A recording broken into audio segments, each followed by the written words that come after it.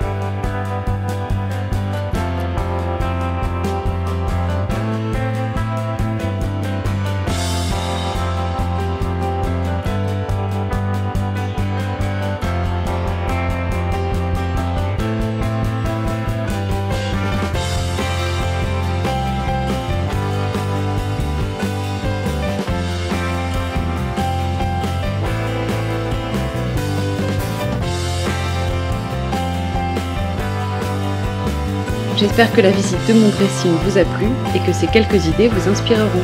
À bientôt!